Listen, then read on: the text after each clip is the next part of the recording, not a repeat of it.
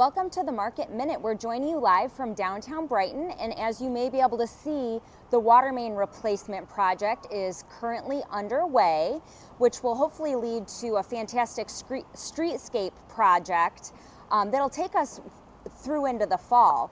We want to remind you that all the businesses and shops are open during this time period, and we would encourage you to come downtown and check it out.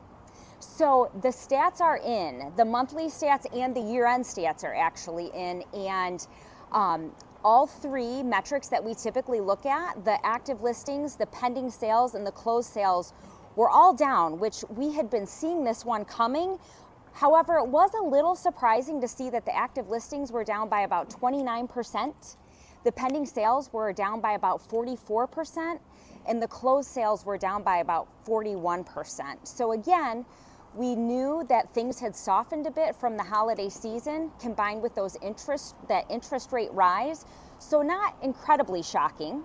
Now, when we look at the year end um, figures, the new listings were down by about 10%, and both the pending and the closed sales were down by about 18%.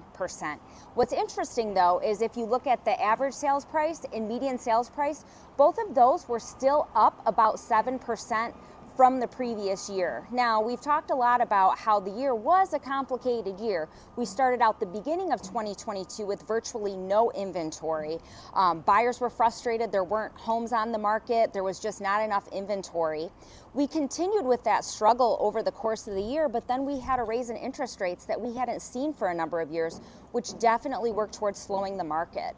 So now when we're doing our projections for the coming year, we've seen that that interest rates seem to have softened a little bit, and we anticipate that prices will likely flatten a bit, perhaps soften a bit, and people are going to have more intentional moves this summer, probably summer and throughout the year, probably less closed sales overall.